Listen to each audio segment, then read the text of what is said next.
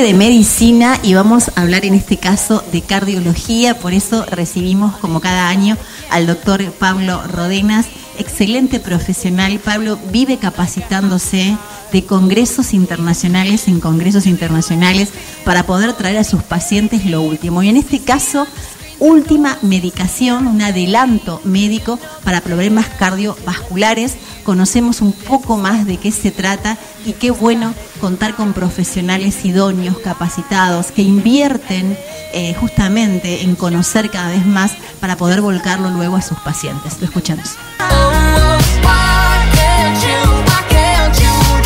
Hoy vamos a hablar de los CGLT1. ¿Qué es esto? Es una medicación que se ha dispersado, ha crecido, se ha eh, extendido en uso como una alternativa para bajar de peso.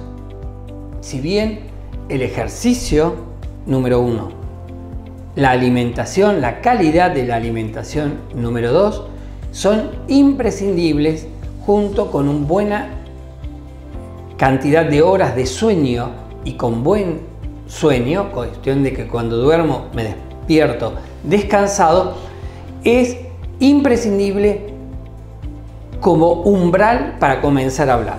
O sea, dormir, comer sano y hacer ejercicio es inevitable.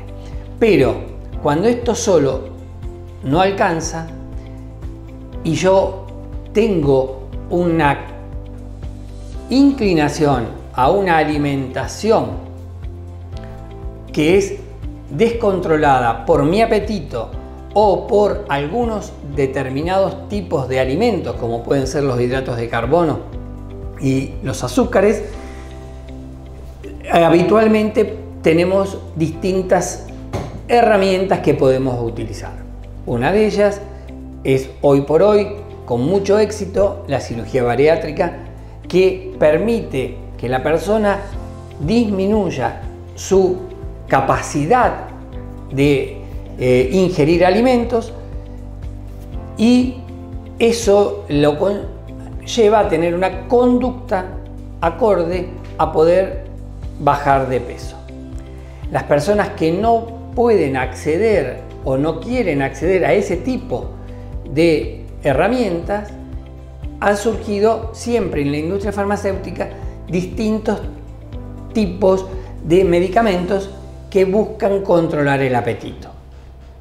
Estos CGLT1 han demostrado que actuando a nivel de centros del de, eh, sistema límbico cerebral disminuyen el, el centro del apetito o aumentan, mejor dicho, la saciedad a la hora de presentarse el plato de comida delante de él.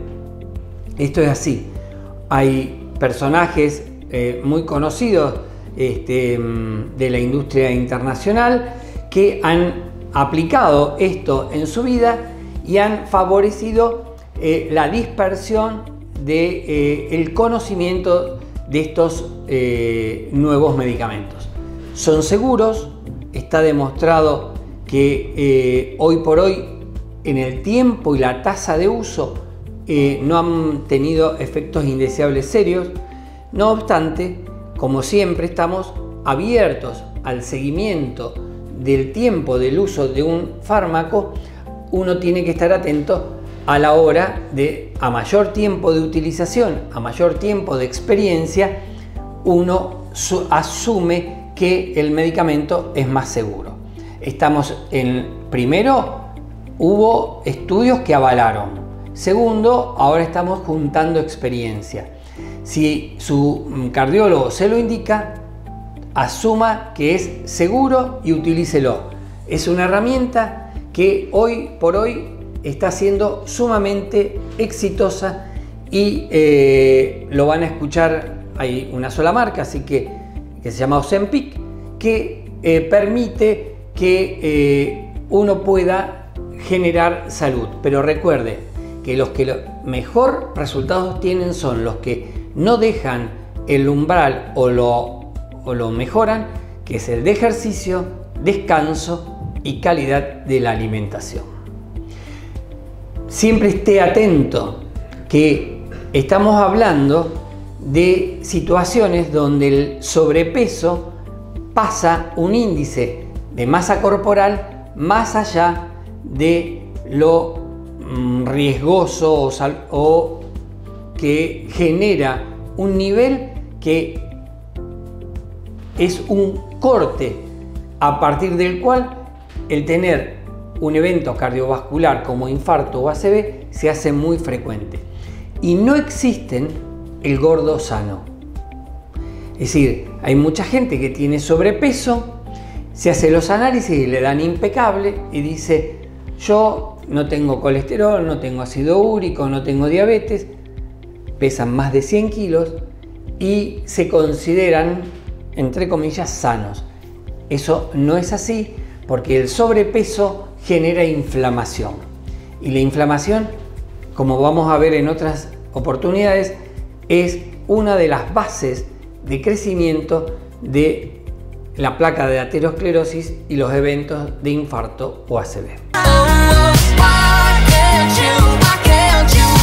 Excelente, ¿eh? y tenemos muchas más notas interesantes, ya que lo aprovechamos a Pablo cada vez que vamos y siempre tiene novedades. En este momento está justamente en Barcelona en otro congreso, así que bueno, gracias, gracias por todo esto que es tan importante a la hora de curar. Hacemos un corte y volvemos con el último bloque donde vamos a conocer un poquito más a uno de los cocineros a las brasas más importante del país y del mundo, en este momento en Arabia. Ya volvemos.